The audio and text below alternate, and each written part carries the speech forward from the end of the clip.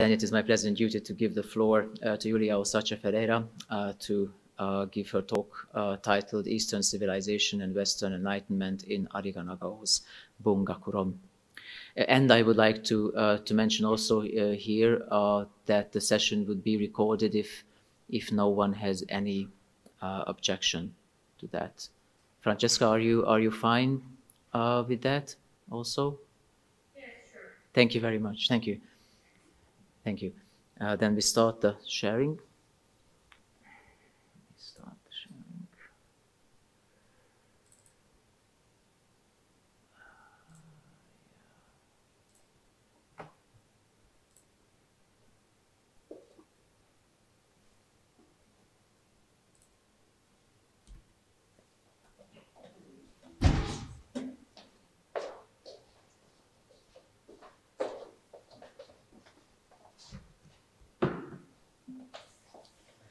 uh, where I should focus. The, the camera. The camera is, yeah, pro- probably the audience. So, uh, hello everybody. Francesca, hello. Um, uh, nice to see you, at least uh, like this. Uh, first of all, uh, my name is uh, Yuliya Osadcha Ferreira. This is not uh, my first time here at this conference, uh, but uh, once again, I want to thank Uh, to organizers of the conference, uh, uh, and it's my greatest pleasure to be here and to give you a paper. I had, I, must confess, also I had to change. Uh, to specify the title of my uh, paper. This is synthesis of the Sino-Japanese civilization and the Western Enlightenment uh, in on writings. It's how I translate Bungakuron by Ariga Nagao. Uh, first of all, I would like to introduce once again, uh, very briefly, uh, Ariga Nagao, who was in fact the, the highest ranked politician in Japan and even China. Uh, he was a secretary of the National Assembly, uh, secretary of Senate uh, at the Privy Council of Japan. He was a secretary of Prime Minister of Minister Ito Hirobumi. He was a patent director, the Minister of Agriculture and Commerce, and so on and so on. And um, uh, from 1909 till 13, he was jurist consultant of Yuan Shikai, the president of the Republic of China. Besides all these, he is considered the father of social studies in Japan. He was uh, really, uh, let's say, outstanding or very significant uh, in the history of um, jurisprudence uh, of Japan, lawyer and educator. Three times he represented uh, Japan at the Hague Peace Conference, and uh, the most significant, probably in his biography, he was the first Japanese nominated for the Nobel Prize for peace. The last but not the least, and very significant uh, for today, he was a really devoted neo Confucianist. So, moving to Ariga's text, uh, Bungakuron. we know, oh, I will skip. Uh, uh, we know that Unwritten is the first volume of the work uh, Bungaku series, part one on Bungaku, uh, Bungaku uh, social. And the second volume was Bungaku, uh, also Bungaku series uh, on philosophy or disciples on Confucius. Uh, I suggest initially it was planned uh, as the uh, introductory part of a series of, of writings devoted to Bungaku in uh, Ariga's um, understanding, but eventually became an independent text. according to Honma Hisao, uh, in this text, Ariga stated his uh, objections to European uh, ideological or um, social thoughts at that time. He contrasted Chinese philosophy and European thought. Uh, and asserted priority and values of the former. Uh, he attempted to reconcile European science, which he called Rigaku, uh, with Chinese thought uh, on the principles of the later and scrutinized Bungaku from the perspective on Confucianism and linked it with uh, Tetsugaku. as uh, says, in the end of this work, Ariga proposed the ideal model of culture uh, which is grounded of four dominants beauty, greatness, uh, sincerity, and benefit. Oops.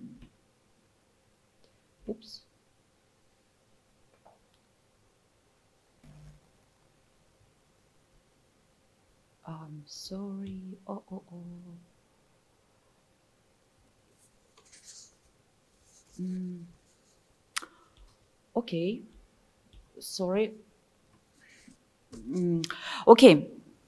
Uh, Ariga st uh, starts uh, uh, his work with a remarkable declaration. Sorry, it looks like it's technical issue. Uh, very important uh, for understanding this treatise. Japanese culture originates from China. I believe this is wrong presentation. If we can restart, then you will have more facts. Uh, I'm sorry. Um, um, uh, let's just just open. Uh, yeah, this one. Yes.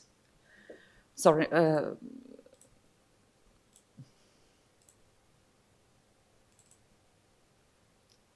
This one? yeah. Hopefully. Uh, yeah. So, uh, the main ideas uh, uh, in Bungakuron. Uh, Japanese culture originates from China. And um, what is uh, remarkable, this is his really principal standpoint. And uh, uh, what I can say that in any not specified mentions of China about intellectual tradition, social culture, state government, etc., any mention of China applies uh, Japan and vice versa. So in his work, Ariga systematically uses phrases uh, wakano bunmei. Uh, you will see, ah, wakano bunmei, yeah. Yeah, this. Um, uh, I will follow Ariga's idea that Japanese uh, culture originates from China and uh, will call it uh, Sino-Japanese civilization. At the same time, Ariga never says about Japan uh, the way we are used to, like Nihon, but rather Honpo, Kuni, Wagakuni, etc. So he never calls Japan Japan. Uh, but he calls China, he calls European countries, England, France, Russia, mm, the USA, or just as uh, Europe. Although the text is uh, really sophisticated, I will try to outline the key points uh, of interaction of the West and the East in Japan Ariga's interpretation, but uh, I will touch only several, uh, or, actually one uh, sphere.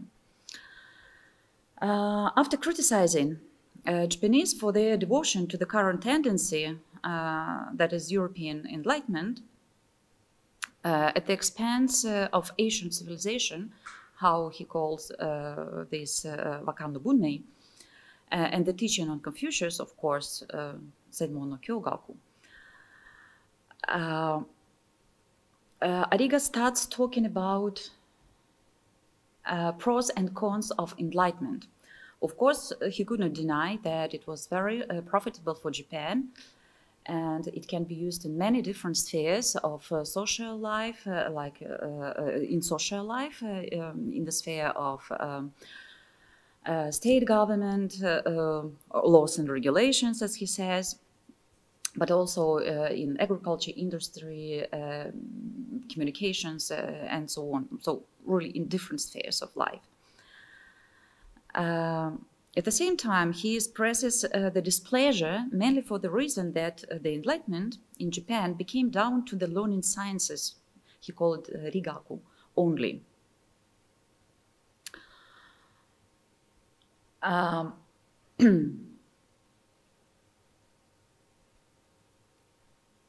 Uh, the collation of achievements of the West and the East resulted in designation two essential methods or approaches uh, to perceive and to interact with, as Ariga says, various phenomena and objects. He is using this uh, really ancient Chinese um, uh, concept.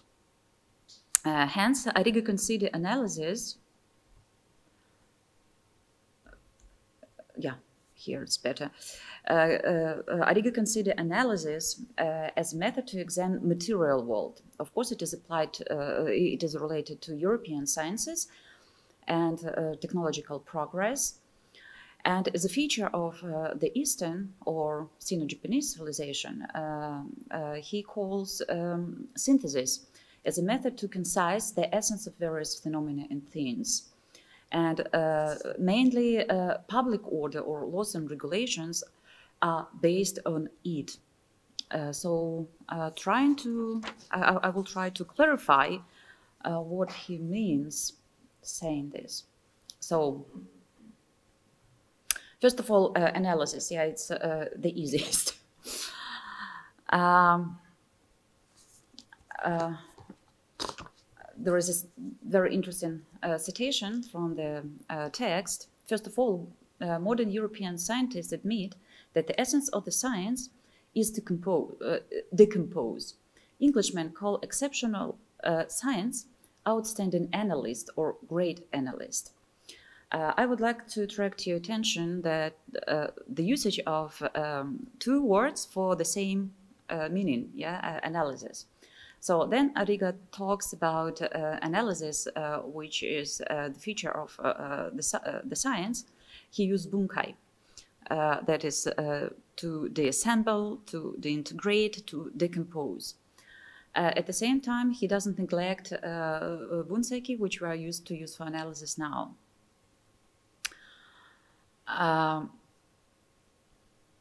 uh, the objects uh, to decompose in social sciences, morals, can be for moral science, as he says, and this is um, in quotation marks, it's uh, really uh, um, citations. Uh, political organization or structure and legal system. But also analysis can be applied, of course, to applied sciences or disciplines, that is chemistry, which analyzes substances, uh, physics that deals with objects, um, material physical objects uh, mechanics, uh, analysis force, and deals with plants and living organisms and so on. And what is very interesting for me, it was uh, it also related to mm, natural selection uh, in wildlife and human society. Um, it can be applied to political economy and uh, psychology, and um, uh, you can see what elements of um, this analysis uh, Ariga uh, calls. Um, contrary to uh, analysis, synthesis does not, this is a citation, does not decompose already existing uh, whatever. Here in the citation, it's uh, determined human nature. This is the way to create in the tab to uh, aggregate the appropriate and suitable um, Ariga states that synthesis is a great harmony. And uh, in this um, interpretation, it can be applied to any sphere of uh, human activity. Uh, it can be social sciences, it can be social life, it can be fine arts, uh, it can be uh, whatever. And synthesis results in beauty uh, actually, uh, in his work, Ariga uses uh, great harmony and beauty almost as synonymous. And of course, results in fine arts like material implementation of this concept. Um, talking about differences, uh, I'm summarizing already step by step, talking about differences between uh, East and West. Uh, we can say that West, this is analysis that can be um, applied to uh, uh or uh, somehow uh, implemented in sciences. sciences produce or result in technologies, and technologies move progress. And this is exactly what is enlightenment, at least at this work, for Ariga. Uh, if we are talking about Sino-Japanese civilization, it, this is of course synthesis. Uh, it is based on the principle of heaven and humanity. Uh, in bricks, you can see um, concepts he is using. It is also implemented in uh, orders and uh, order or laws and regulations. It is based on great harmony and beauty and related to knowledge and uh, the great teaching. Uh, actually, every time he talks about social social structure, social uh, hierarchy, so state government uh, um, uh, relations uh, between people, he is using this knowledge and great teaching and also analyzes um, this whatever. following these stages of great teaching. Uh, as a conclusion, yeah, conclusion, uh, what uh, Ariga brings, uh, uh, Ariga states uh, in his treatise, the East and West, the West are not incompatible with each other like fire and ice.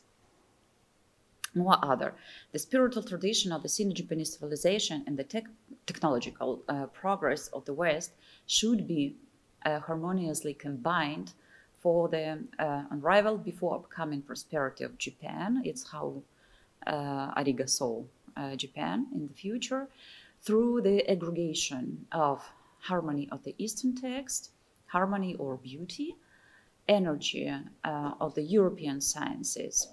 And it can be used or can be pro- profitable in the sphere of state government or social well being, uh, what is, first of all, for Ariga, public order uh, sciences and industrial technologies, and of course, uh, fine arts. For fine arts, he devoted really, uh, he pays a lot of attention. And uh, uh, I don't know how it is, what, what time? Absolutely fine. Absolutely fine. Okay. Uh, then I would like to show you my conclusion not Ariga's, and introduce you uh, the picture meeting of Japan, China, and the West of uh, Shiba Kokan. Uh, uh the, uh, which uh, of course was created much before um, Ariga's time, but for me illustrates Ariga's idea the most than three sages of really Japan, China, and the West meet and uh, what is usually um, um, uh, can be demonstrated as uh, uh, this part, but the full picture, unfortunately, I didn't manage. I, I um, divided it in two parts. Uh, the upper part is also interesting. Uh, we can see a Chinese uh, cavalry army in the background here. Uh, uh, of course, pagoda uh, is in fire. we can see Japanese sumo wrestlers, the barrels of water on the hill, and the Dutchman with mechanized water pump in the center. And they are preoccupied with the same practical task to put out fire and to save pagoda. Uh, actually, uh, about this picture, uh, professor uh, from Russia, Professor Simon Vagudzenko from Moscow State University, wrote very interesting article, but I, I, have no time to to introduce it. And what we can see, militant Chinese and idle uh, Japanese are powerless. Yeah, and only uh, technological progress is effective. And I would like to conclude with a phrase, uh, the, the station from Ariga's text uh, that uh, shows the idea uh, that everything is good only if it is um, can be used in the proper way. And a roof is useful for protection against rain and dew. A weapon is useful for vanishing enemies. Uh, in other words, each separate thing has its benefits and is limited by its purpose. Um, thank you for attention. If you have questions, uh, comments, objections. Thank you very much Thank you. Uh, I hope I hope uh, colleagues via Zoom can hear me. So thank you very much for the presentation, uh, and uh, we are very good with the time. Uh, so now we will have uh, time for a few questions. yes, Professor Arok, I give you. I would um, like to ask you just shortly, when did you write uh, it was uh, 1885, August, it was published. Yes. Um, could you say something about uh, the concept of bungaku in the 1880s? So why you are translating? Yes. Uh, I, pre I prepared. Um, uh, uh, ah, we can go uh, just to save a little bit of time, uh, Bungakuron. Uh, uh, I just prepared some citations from really uh, specialists in this area. But uh, for example, uh, Honma Hisao, actually, he was who discovered this paper because it was almost unknown till the second decade of the 20th century. And um, so he writes, I do not consider the work on Bungaku a literary theory because the meaning of literature there is somewhat different from what we call literature. Uh, Bungaku is uh, exceptionally in uh, uh understanding this ter term or concept uh, by Ariga as neo-Confucianist.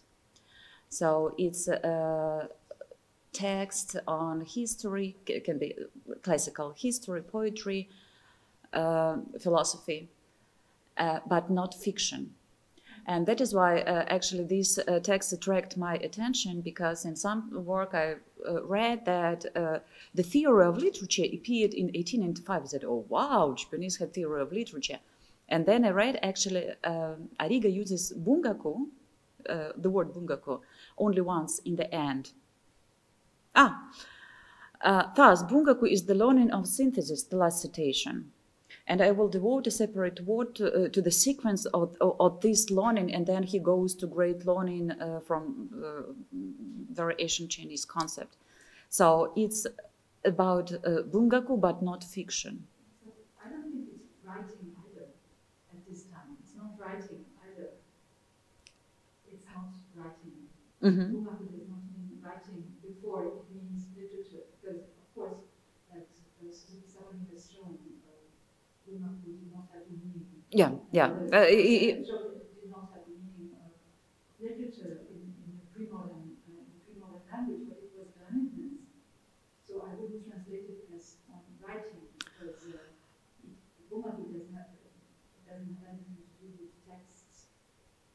at this time.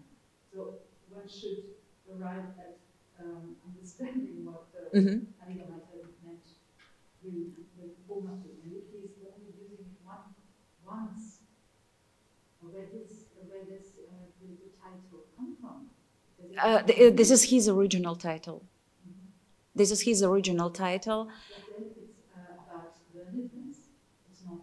about about uh, yeah, learnedness. Uh, thank you for this comment because I also was thinking about it, but uh, you know, I just simplified my task. thank you. Uh, uh yeah, yeah. No, uh, bungaku, uh, bungaku, this translation, like liter, bungaku as a translation for literature, was proposed by Fukuzawa Yukichi in his uh, Seiyo Jijo, and uh, then the history started, uh, yeah, of all these distortions. Mm-hmm. Mm-hmm. Thank you.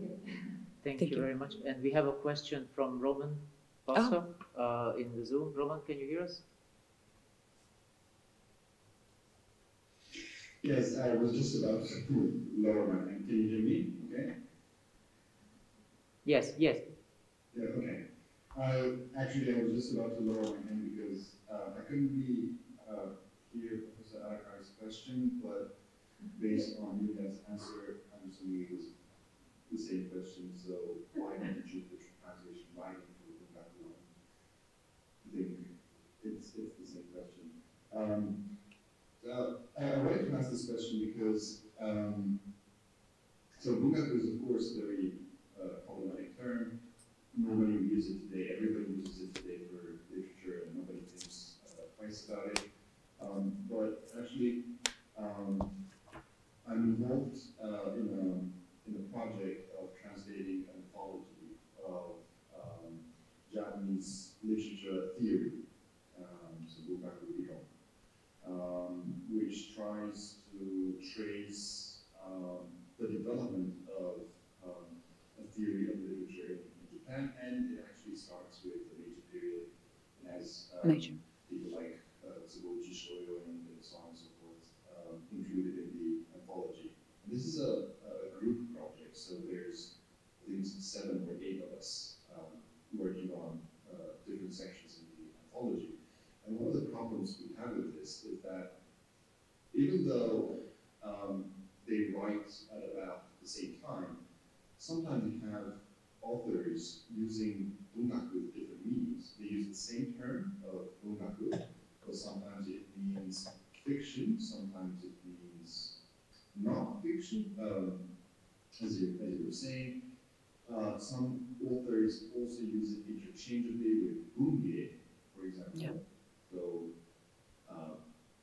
when they say bunge, sometimes they refer to literature, but in other cases, when they say bunge, they actually talk about arts in general, including literature, but not exclusively uh, literature.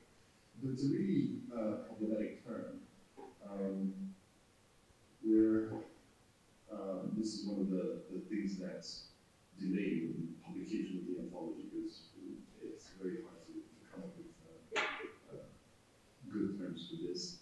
Um, I so why you chose to translate the title as writings, which um, sounds very neutral, but I think you already answered that. And if he uses, if Anika uses any other terms like bunge or uh, anything, I don't know, um, if he, for example, if he talks about literature, what terms does he use to refer to literature? Uh, thank you, Roman, for your question. of course, he uses, uh, talking about text, he is using uh, Buncho.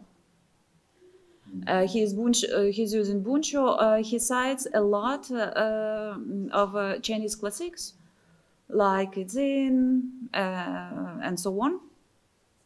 Mainly, he yeah he he talks Buncho. It's what he is using for text, uh, but also Buncho is uh, somehow synonymic in his um, interpretation to knowledge. Uh, yeah, so it's not uh, only material objects; uh, it's uh, also a knowledge.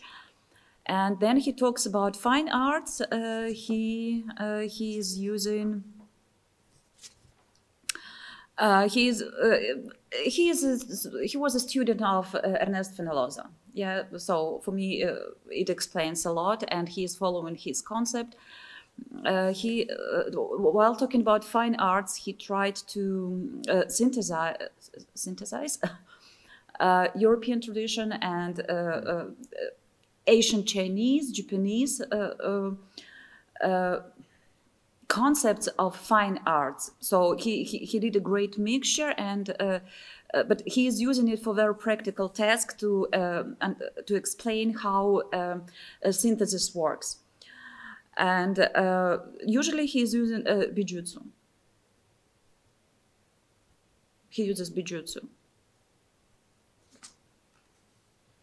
Okay, yeah, thank you. Thank you. Yeah, Thank you very much. Uh, I don't see more hands in Zoom, but it can be my fault. No, uh, I don't see no more hands in Zoom, neither in the room. So I suggest uh, we proceed to our next uh, presenter, who will be. Uh, so, yeah, that's right. Thank you very much uh, once again. I want to thank you.